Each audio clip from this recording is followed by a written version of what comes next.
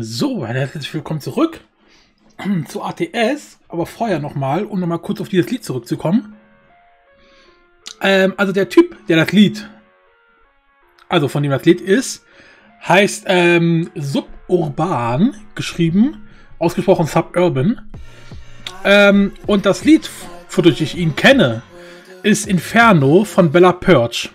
Wobei ich nicht weiß, ob bei Purge dieses Purge wirklich aus Purge ausgesprochen wird oder Poarch. Ähm, also Englisch für Wilderer oder Wildschwein oder irgendwas mit Wild. Also genau, auf jeden Fall Bella Purge, die hat halt, ich sag jetzt einfach mal Purge, die hat halt damals äh, Build a Bitch rausgebracht. Darüber habe ich sie halt kennengelernt, wie viele andere auch, logisch. Und ihr zweites Lied war aber halt Inferno mit Suburban. Und von Suburban ist halt auch das Lied, ähm, ja, wusste ich gar nicht, dass er auch für No Copyright Sound released oder vielleicht ist es einfach ein Remix von No Copyright Sound. Aber trotzdem braucht er ja die Lizenzen dafür von Suburban, soweit ich weiß. Also, wie die hinbekommen haben, dass das Lied No Copyright hat. Gute Frage. Ähm, genau. Gut, wir legen jetzt aber mal los hier. Auf jeden Fall, wie gesagt, Suburban ist der Dude, von dem das Lied ist. Net to know. So, ähm, dann fahren wir auch mal. Unser Gips.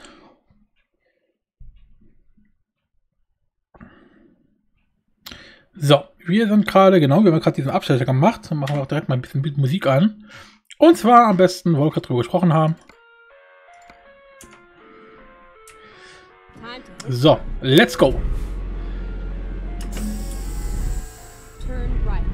Fahr doch mal. Stellt sich hier an.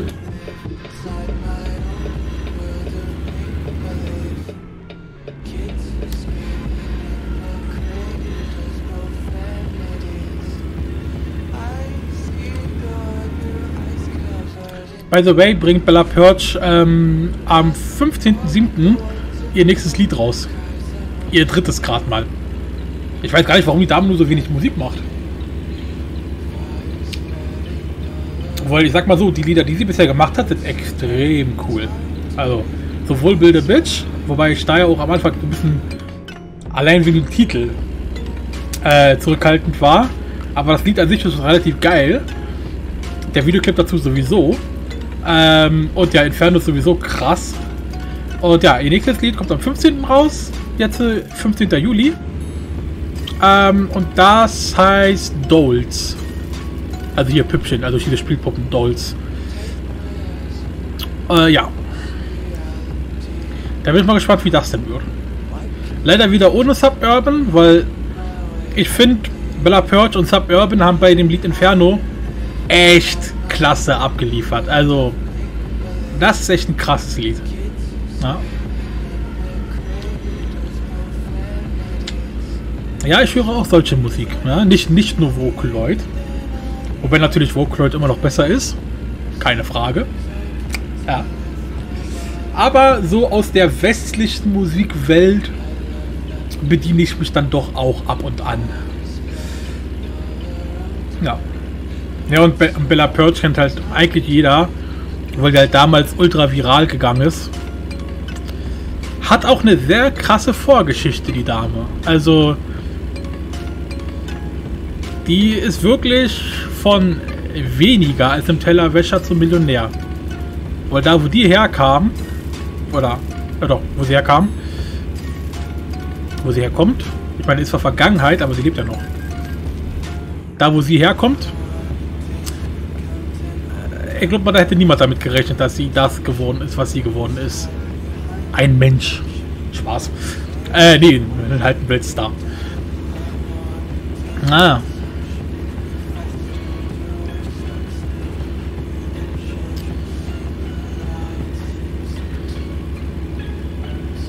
Ja, deswegen normalerweise lassen mich ja so Promi-Geschichten eigentlich immer, immer super kalt. Weil letztendlich werden die meisten eh mit dem goldenen Löffel im Mund geboren. Ja? Das heißt, dass die berühmt werden, dazu fehlt nicht viel. Und die meisten werden sogar ohne. Ich sag, ich sag jetzt mal, das, was sie produzieren, ist jetzt in meinen Augen nicht unbedingt eine Rechtfertigung dafür, berühmt zu werden. Um es mal so auszudrücken. Ähm, aber bei Pella Perch, ich glaube, die hat den Hype verdient. Erstens, wie gesagt, ist ihre Musik einfach klasse. Zweitens, was macht der Vollidiot hier? Und drittens ist sie halt wirklich aus dem Nichts gekommen. Und mit nichts meine ich jetzt nicht das, was wir hier als Gosse oder so bezeichnen, sondern aus dem noch mehr Nichts. Wie gesagt, wem das interessiert, der kann gerne mal ihre Hintergrundstory da checken. Ist geil.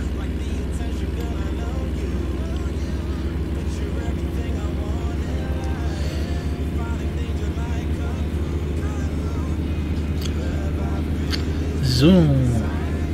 Genug über westliche Musik gelästert. Jetzt kümmern wir uns mal wieder lieber um Vocaloid, Vocaloid, Vocaloid, Vocaloid. Vocaloid. Prise Tatsune Miku.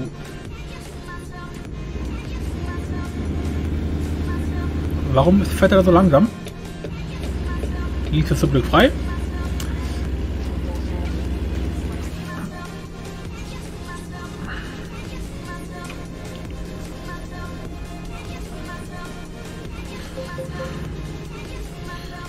Also wir müssen bald pennen gehen.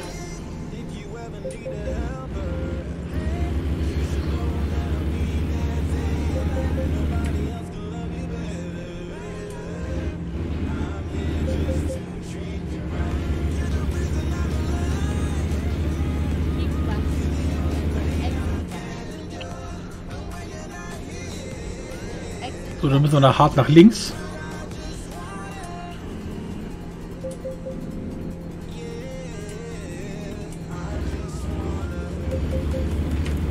Oh, Alter, die kommt aber sehr eng.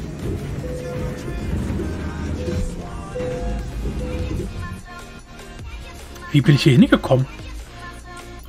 Was macht dieser Baum hier? Oh, wir haben neue Nachbarn. Hallo, ich bin der, äh, der andere. The fuck? Nee, ich glaube, von da kommen wir nicht mehr weg. Der Hänger, der ist fest. Ähm, ja, sehr interessant. Ja, klar. Weißt du, wenn du, wenn du irgendwo so ein bisschen gegen duzt, hast du sofort 2% Aufliegerschaden. Aber wenn du hier so Karate machst, fracht einfach 0%. Das ist wieder diese typische SCS-Logik hier. Gut, dann lassen wir uns mal... Hä? Wo geht denn das? Nein. Da. Abholen. 340 Dollar? Hey, wo ist denn der nächste? Der muss hier ganz in der Nähe sein.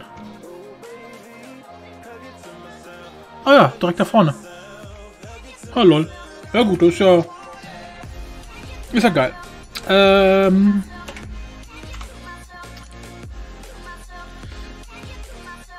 Eine Stunde dauert das. Eine Stunde für die... Na gut, okay. Die müssen uns erstmal auf den Dreck ziehen, ne? Hm. Da können wir mit einer Stunde bei dem Chaos, den wir da hinterlassen haben, du kannst froh sein.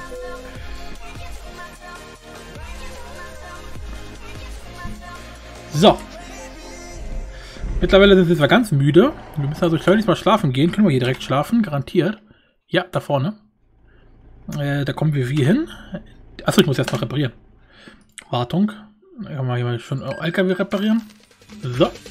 Also wir müssten nicht, aber war halt naheliegend gleich. Geiles Lied. Tanken können wir auch gleich da vorne. Krass, Alter. Ist ja hier Multifunktionssystem.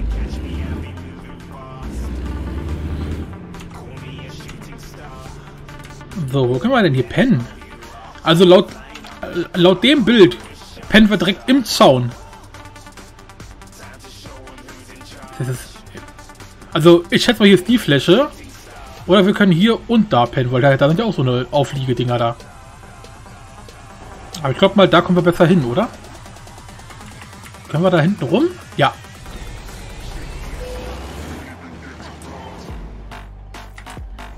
Dann kommen wir nämlich so besser lang, auf jeden Fall. Ähm, wo kommt dieses, dieser Pfosten hierher?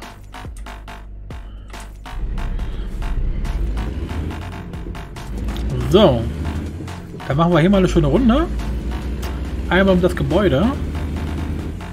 Oh, das Motorrad. Leider fahren hier mal kaum Motorräder. Die sieht man so auf den normalen Straßen immer gar nicht. Oh, das ist auch ein geiler Auflieger. Aber wenigstens stehen die ab und zu rum. So. Na komm. Lass mich schlafen. Ähm, hallo? Jetzt sag nicht, dass ich doch nicht schlafen kann. Geht doch. So, jetzt ist es natürlich mitten in der Nacht. Danke dafür. Und ich war schon wieder die ganze Zeit mit Licht unterwegs. Man kennt es mittlerweile gar nicht mehr anders. So, da tanken wir da vorne gleich mal.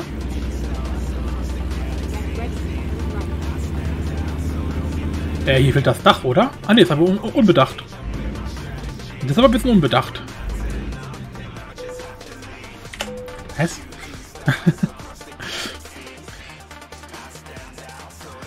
so, da haben wir wieder alles hier topfit. Wir sind topfit. Äh, unsere Tanke topfit. Und der LKW ist auch topfit. Ah, passt doch. So, haben wir wieder direkt 5000 Dollar verdient. Also nicht wir, aber unser Mitarbeiter. Äh, man erkennt hier leider gar nichts. Das ist eine Ausfahrt. Sieht so aus, ne? Bitte seid eine Ausfahrt. Ja, das ist eine Ausfahrt.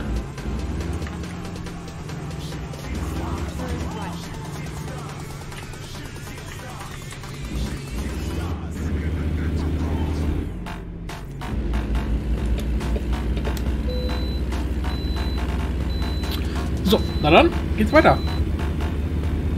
Als wäre nichts geschehen.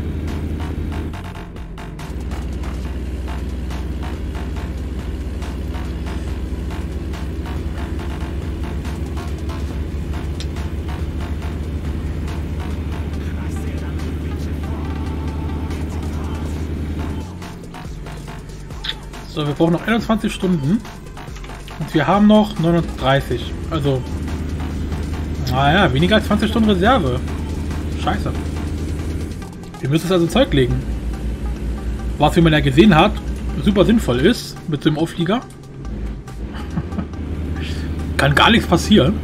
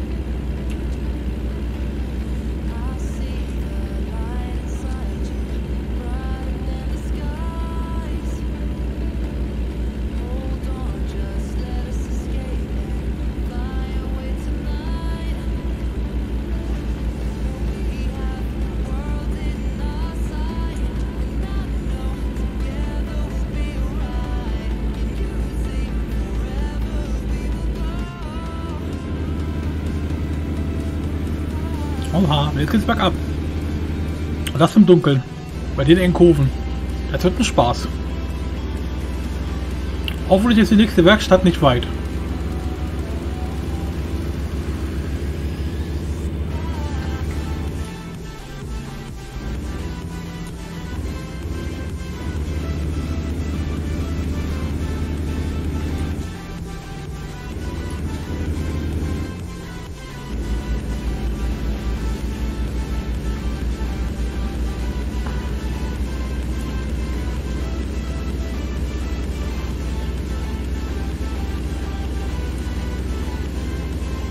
Oha.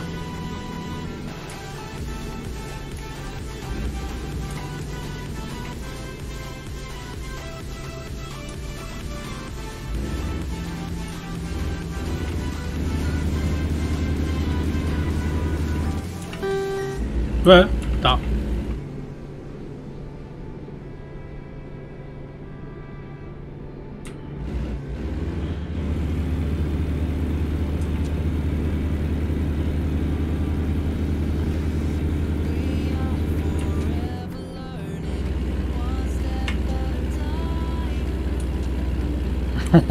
Schön in die Augen blenden, Alter.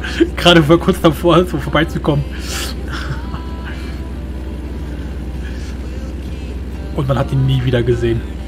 Außer im Lächenschauhaus. Go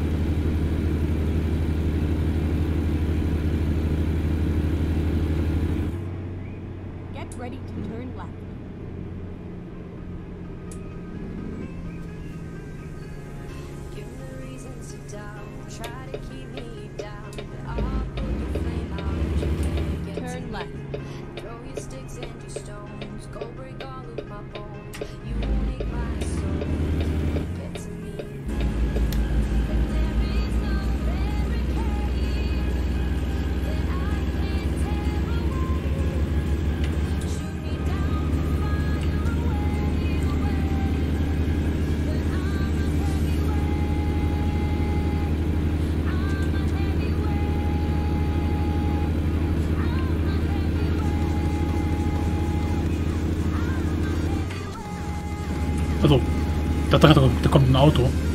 Aber war bloß die Stadt. Oder das Häuslein.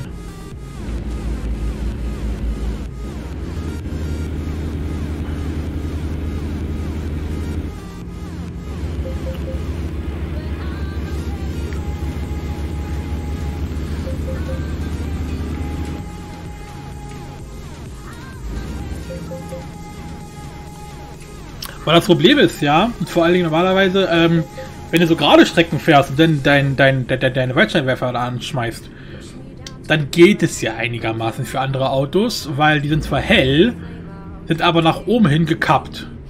Das heißt, die leuchten gar nicht so weit nach oben, dass sie andere blenden könnten. Ja, wenn, wenn du so als niedriges Gefährt unterwegs bist, also jetzt als, also wenn du einen relativ niedrigen Sichtpunkt hast, in einem Sportwagen zum Beispiel, dann vielleicht, okay. Ähm, aber so hast du eher selten Probleme. Das Problem ist aber in so einem, Gebir äh, in so Gebirge, da sieht es halt ganz anders aus, weil da kommst du teilweise mit einem relativ, also da kommst du halt aufs Gefälle rüber, der andere kommt auf ein Gefälle rüber und damit scheint quasi dein Licht über den anderen drüber. Und äh, ja, das ist dann, da wird dann voll geblendet. Gerade wenn du auf so einem Gebiet bist, wo es ein bisschen huckliger ist, wo es also ab und zu ein bisschen auf und wieder bei Bismarck abgeht und dann das Auto halt dich mal blendet und mal nicht blendet und dann immer so wechselt. Da bist du komplett gefickt. Gefickt, der Fisch. Und das ist dann nicht so geil. Na?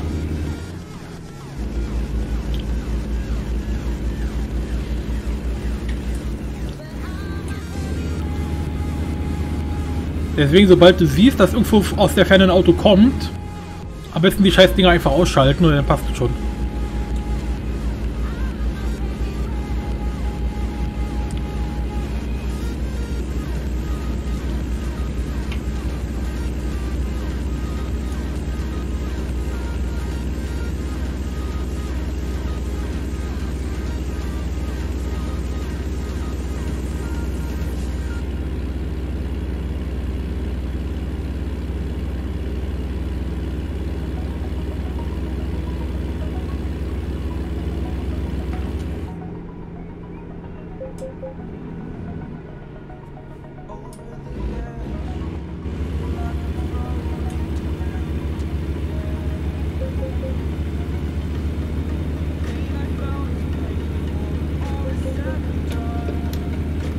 Ich frage mich echt, was man von so einer Szenerie auf YouTube denn noch erkennen kann. Ich meine, ich persönlich nehme in sehr hoher Qu- Qualität auf und lade die auch in Originalqualität hoch. Aber ich, ich habe halt absolut keine Power darüber, was YouTube daraus macht. Weil so sieht es halt schon geil aus.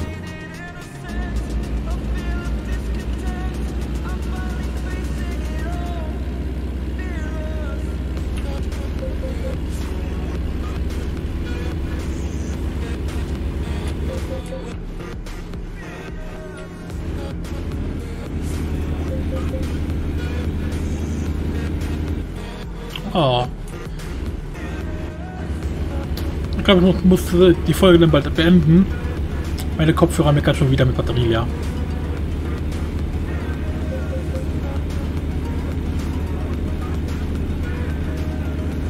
Aber da die Folge eh bald zu Ende ist, zeitmäßig.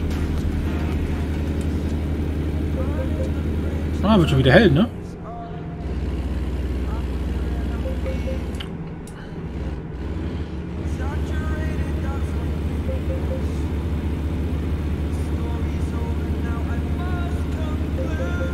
Fahre bei gerade schon schnell hier. Warum eigentlich? Eieieiei.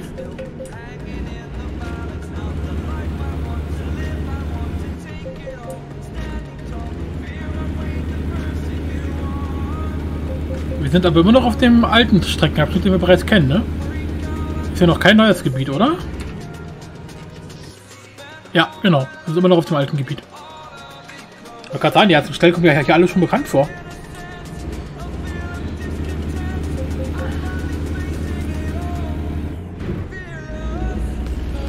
Ähm. Och nö, warum Alpha-Wand? Ich hätte das locker geschafft, wenn ich die Alpha-Wand hier gewesen wäre. Blöde Alpha-Wände.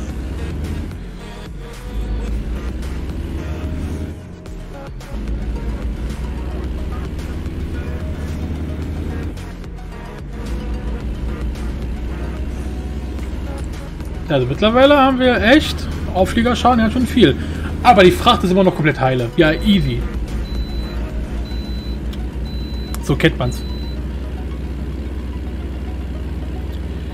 Gut, ich werde auf der Ladestation gleich mal hier Pause machen.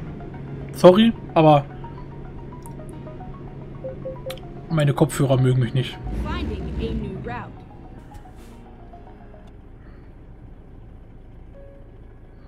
Bevor die wieder anfangen, ins Ohr, ins Ohr zu blöken. Ey, nimm dich als Kopfhörer ab, du Hurensohn!